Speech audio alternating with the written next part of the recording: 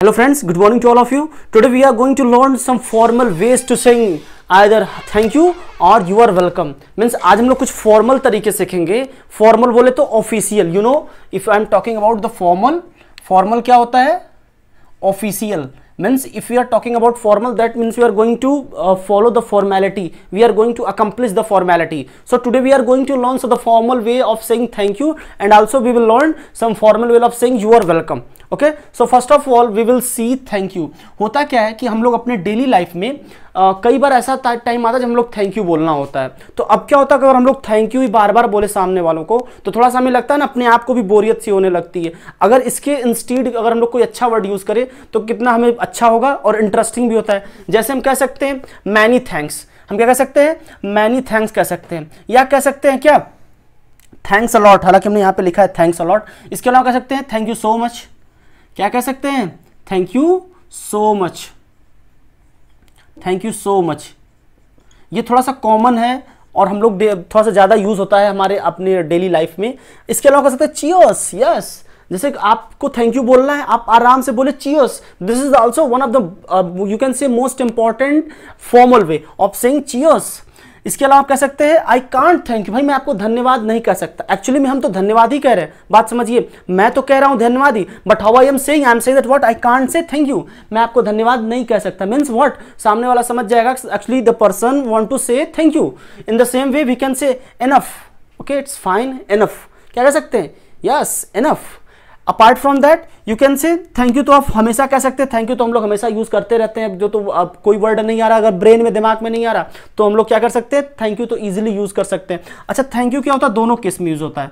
Formal में भी होता है और इनफॉर्मल में भी होता है। ये फॉर्मल में भी होता है और इनफॉर्मल में भी होता है। ठीक है? बट क्या होता है? हम लोग क्या करते हैं? थैंक्स अबंडल भी कहते हैं, इसके अलावा क्या कह सकते हैं?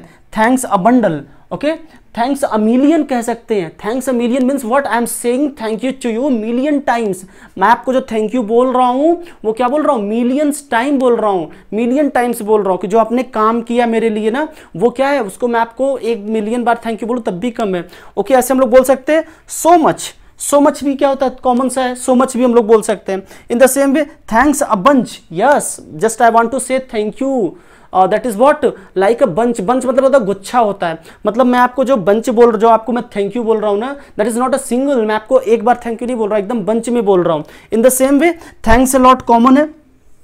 Thanks not cat is very common we are always saying in our daily life what thanks a common and this is also now what is what we are saying we are listening ta yes sometime what happens we are saying ta yes okay it's okay apart from that हम लोग क्या कह सकते हैं it's okay भी आजकल खूब हम लोग यूज़ कर रहे हैं। इट्स ओके थैंक यू ना बोलने की जगह पे इट्स ओके okay. ना?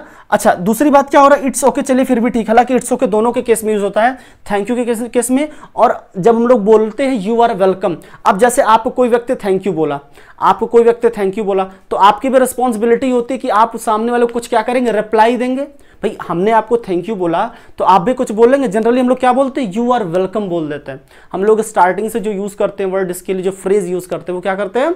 यू आर वेलकम कहते हैं। But apart from that we can say any time yes just any time any time means कभी भी मीन्स आप दोबारा हमसे कभी भी और भी हेल्प के लिए कह सकते हैं ओके okay? यहाँ पे एनी टाइम का मतलब क्या हो रहा है कि you may ask for help to me any time मतलब आप मुझसे कभी भी हेल्प की बात और कर सकते हैं। In the same way please don't mention या डोंट मेंशन इट हम लोग क्या कर सकते हैं यहाँ पे प्लीज़ का भी यूज़ करते हैं। कभी कभी क्या होता है, इसी को हम लोग बोलते हैं प्लीज़ डोंट मेंशन ना कृपया मेंशन ना करें, या फिर please don't mention please don't say about it okay तो अभी क्या हो रहा है, हम ये कह रहे हैं कि अरे, कोई बात नहीं, कोई, जैसे हम लोग कहते हैं ना कि नहीं, कोई नहीं, कोई बात नहीं।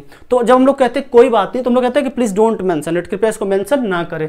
In the same way we send glad to help yes I am very happy यहाँ पे ग्लैड मतलब क्या हो रहा है, गर्व हो रहा है that I am very happy to help you मुझे आपकी हेल्प करके क्या हुआ, बहुत खुशी I am feeling so fine मुझे आपकी हेल्प करके बहुत खुशी फील हो रही, बहुत ग्लैड फील कर रहा हूँ। In the same way you can say it's my pleasure क्या कह सकते हैं? माई प्लेजर भी कह सकते हैं और इसके अलावा क्या कह सकते हैं? इट्स माई प्लेजर भी कह सकते हैं। इट्स माई प्लेजर भी यूज़ होता है। चाहे आप कहीं इट्स प्लेजर चाहे आप कहीं it's my pleasure both are common both are common okay and same thing no problem okay it's fine no problem I know no problem कोई बोल रहा है आपको थैंक यू आप सीधे क्या कहेंगे? नो प्रॉब्लम ठीक है? So these are the formal ways of saying thank you in the same way कह सकते हैं आप क्या? नो वरीज मीन्स चिंता मत करो टेंशन मत लो no worries okay apart from that so can say not at all means word अरे कोई नहीं यार, किसी भी स्थिति पे कोई नहीं नॉट एट ऑल कोई नहीं। मतलब क्या कह रहे हैं? नॉट एट ऑल कोई दिक्कत नहीं है, कोई इसकी ज़रूरत नहीं है। ठीक है, आप हमसे दोबारा भी हेल्प की बात कर सकते हैं। ओके दैट्स ऑल राइट हाँ ये भी क्या होता है? ये भी कॉमन सा यूज़ होता है। हम लोग अपनी एक्चुअली लाइफ में डेली लाइफ में बहुत ज़्यादा यूज़ करते हैं। That's all right yes that's all right it's all right ऐसे भी कह सकते हैं ऑल राइट. इसके अलावा भी क्या कह सकते हैं? All right right. ठीक है? Means what so these are the different ways to saying thank you and these are the different way of to saying you और वेलकम सो आई होप आप लोग इस वर्ड्स को अपनी डेली लाइफ में use करेंगे और मैं आपसे एक रिक्वेस्ट करना चाहता हूँ कि आप बताइए हमें कि कौन सा इसमें से फ्रेज आपको अच्छा लगा। इसमें से कौन सा तरीका आपको थैंक यू बोलने का और यू आर वेलकम बोलने का अच्छा लगा। प्लीज़ आप मुझे कमेंट बॉक्स में बताइए ताकि मैं समझ पाऊँ कि कौन सा आप लोग यूज़ करना चाहते हैं। और अगर कोई क्वेरी हो, कोई दिक्कत हो तो आप मुझे कमेंट बॉक्स में टाइप करिए। I will definitely help you that's all for today thank you and have a nice day